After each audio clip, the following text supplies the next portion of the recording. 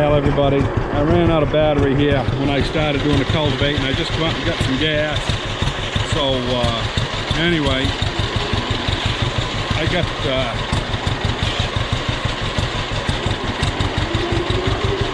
I got a couple more rows to do. So, this old girl don't steal like the other ones. But anyway, we'll go down back in. We'll do the last couple rows. The old girl's warmed up, runs pretty good. So, hope you enjoy here a little ride in the John Deere.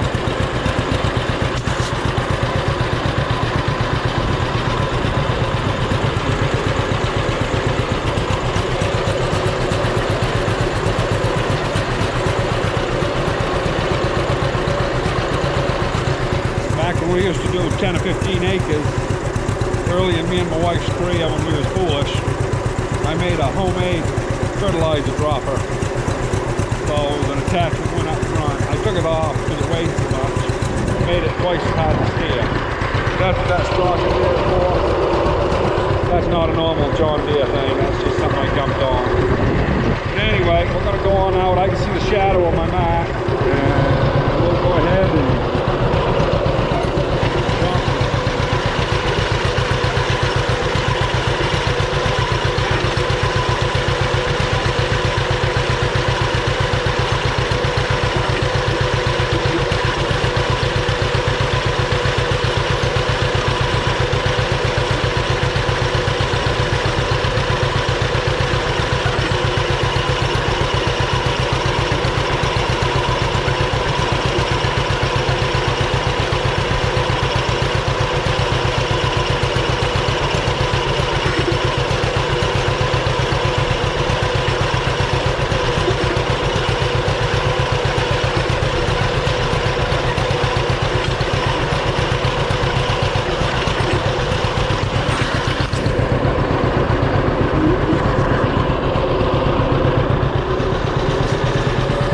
There, that's the last row we're going to do. Um,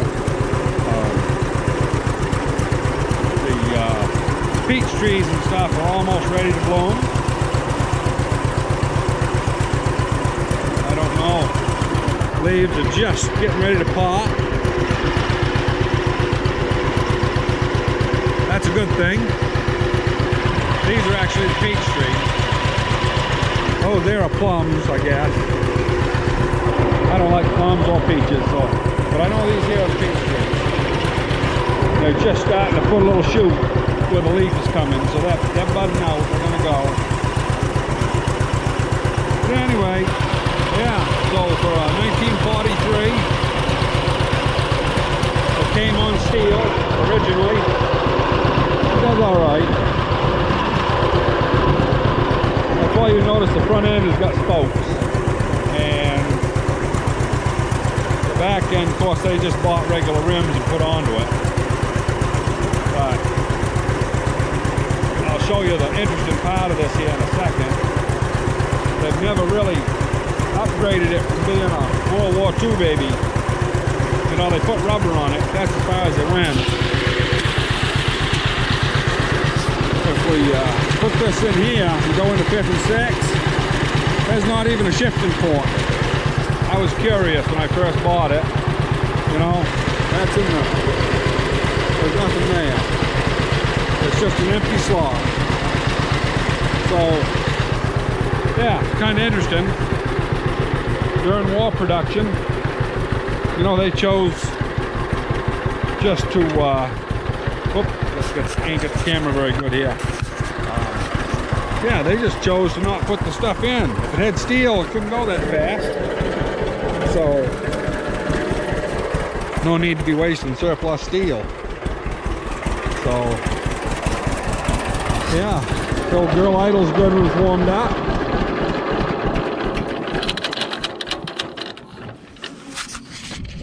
So, anyway, I'll show you what we actually did here.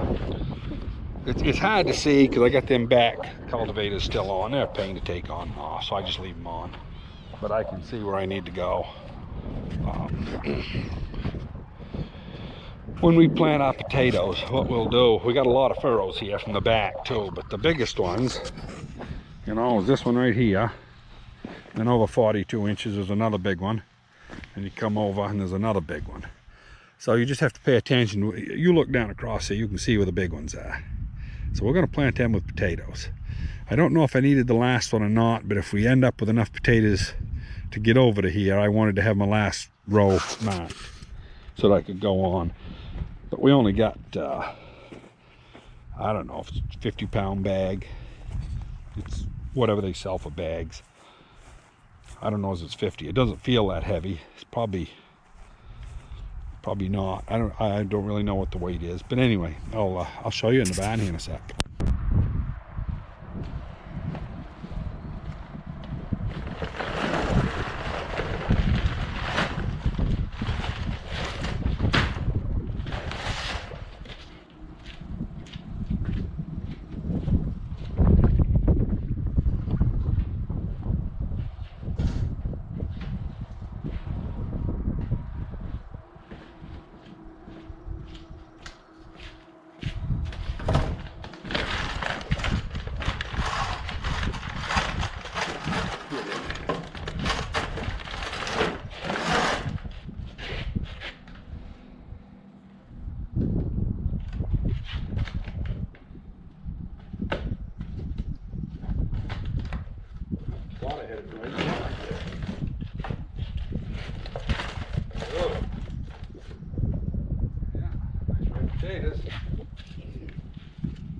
And for you aficionados, it's a red Pontiac certified Maine seed potato. And uh, came from Bradstreet Family Farm in Bridgewater, Maine. So anyway, we uh, yeah, don't say how many pounds it is, but yeah, it's 50 pounds. Yeah, it's 50 pound bag. So anyway, I'm not gonna bore you too much here. So anyway, what I need to do, and see all these eyes, as long as you have one eye on that potato, it'll grow a hill of potatoes. And these things got eyes galore, so, but you don't want too small pieces either, because they have to get the energy to get up through the soil out of the, uh, it's easier on a table. But anyway, you know, I'll go and chunk that through there. Chunk that through there. got an eye. That one's only got one line. So anyway, that's the whole thing. You know, we went from making one hill to making five hills. And pretty simple. Some of you people might never have grown potatoes before. You know. You, uh, yeah, I take more time than what most people would. I figure out. Anyway, that's what I'm going to be doing here for the next half hour. Beautiful sitting here in the sun. And uh, it's only about 51 degrees out. And there's a little bit of a breeze. But I'm going to take my shirt off here. Cause I'll tell you, once you get out of the wind, it's warm sitting right here in the shop. And uh, that steam engine makes a good coat rack, I guess. So anyway, bring you back when we're getting ready to do something different. Well, I, I just got off the phone with a friend of mine. I kept wondering there about picking these potatoes in the fall. I don't have a potato digger. And uh, I called up my friend Ducky there, and he's got a nice PTO driven one. It ain't been used for about 10, 15 years, but it's, it's still a pretty nice one. And uh, he wants an old tractor I got. And uh, anyway, I, I asked him, I said, what's the deal on this thing? So we came to an agreement that we're going to do a swap. Huh, look at that. Right in center in that potato. So that's going to be nice in the fall. I'll have a potato digger. And, uh, which will make me real happy. Because, boy, I'll tell you, nothing any worse than getting out there with a potato digger, a hand one, and uh, sitting there pulling up rows of potatoes. That's how I've always done it, but it'd be nice to have a potato digger. Yeah, these are cutting up pretty nice here. I'm down probably a quarter of the way of the bag, maybe. And uh, they got machines that do this, and uh, you know, I guess if you it was a big operation you had to do tons of them, and I can see why you would want a machine. But for here on the farm, me and the wife there, we'll just we'll just cut away. Plant them. It'll be all good. Um,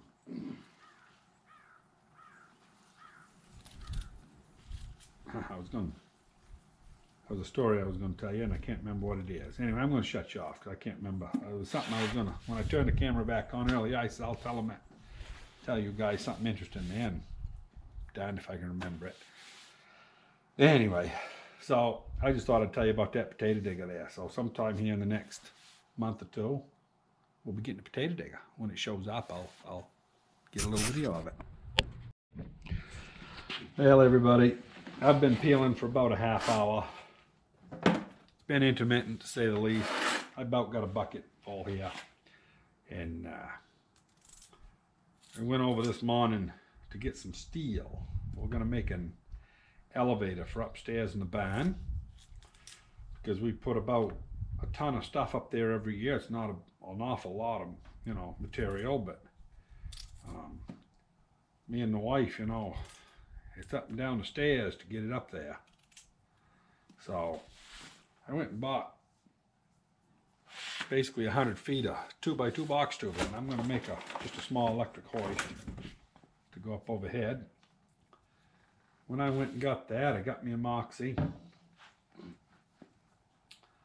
And for those of you who are not from this area, mainly Maine, New Hampshire, you know, they might have it in other parts of the country, but I, you know, it's it was originally invented in Maine, and kind of way you find it. It's my favorite soda, but there's other people.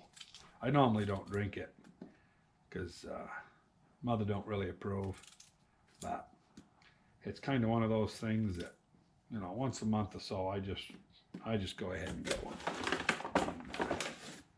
You know, she sees it here, I'll get the look. And, you know, it's not her being nasty or nothing. It's just her saying, you know, I'm worrying about you. Don't want you to have that stuff, you know. So I get it. And I don't complain when she gives me the look. I usually, usually kind of uh, pay attention because, you know, she's got her best interest, my best interest in it. So kind of funny how that works. But I, I broke down today and got one. So, um, Always get a phone call. Well, in case you're curious, that right there, that's a five gallon pail. And probably if the other one was a five gallon pail, we would have filled that one. It was a short pail. So basically two five gallon pails, which I don't think is too bad. Um, I don't know how many pieces, I didn't count. But uh, be interesting to see how many feet a row we get out of it. I'll uh, bring you back when we're getting ready to plant. Hello everybody, we've been uh, taking care of them potatoes all afternoon, doing other stuff too, but it's been an all day thing, you know, off and on. But I came out here and I put them in the ground in the furrows that I made, which I believe you guys saw earlier. And uh, anyway, I dropped them in every eight, ten inches. I'll show you what they look like here. I've done two rows already as far as backfilling.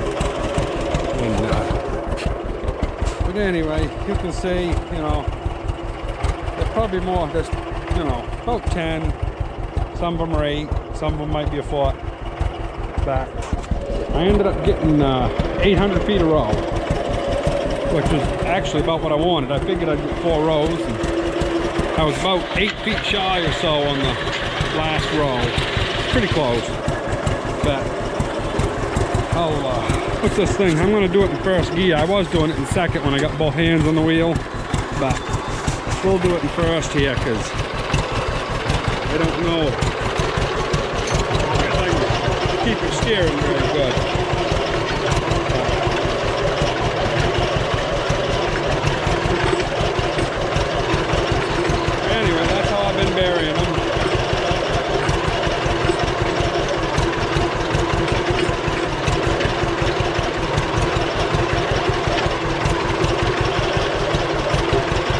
truck right there we just went over.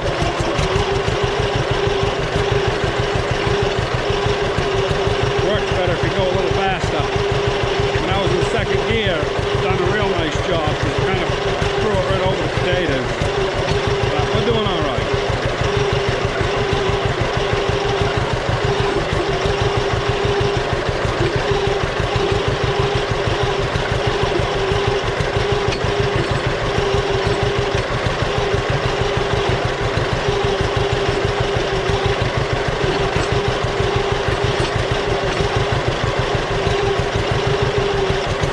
Easy. Hit a rock.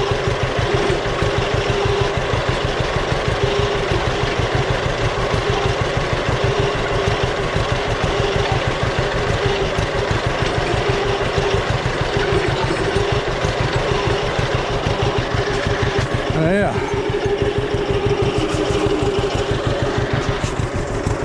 So that's how doing it. It uh, works pretty good. Just one more trip up and I'll have it done for the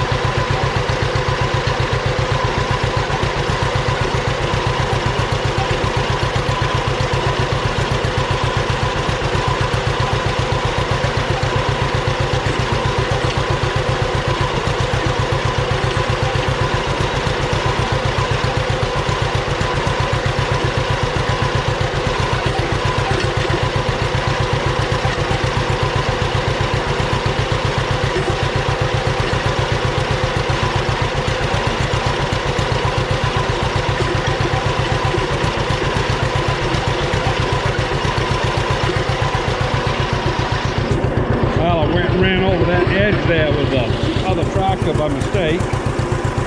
And as you can see, it didn't cover up the last six or eight feet of row where I ran over the edge. Cultivators don't go deep enough to haul it back up. But anyway, I'm going to put this old girl over here off to the side and uh, go grab me a hoe. I'll fix that last 10 feet. Anyway, that's about the last of the potato adventure. Hope you enjoy. You know, kind of fun doing this. So, anyway, talk to you later. Well, I just thought I'd tell you an interesting thing here. Of course, when I brought it out this morning, it was backed in. That was because it was winter time. Now it's summertime, I can drive it in, which is a lot easier. Um, I can drive any of them in here now because the reason is I don't want the sun on the tires. That's the whole deal.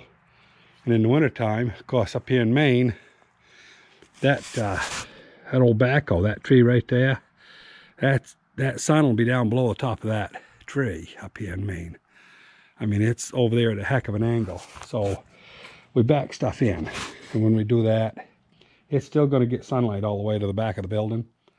But it's not so much of it.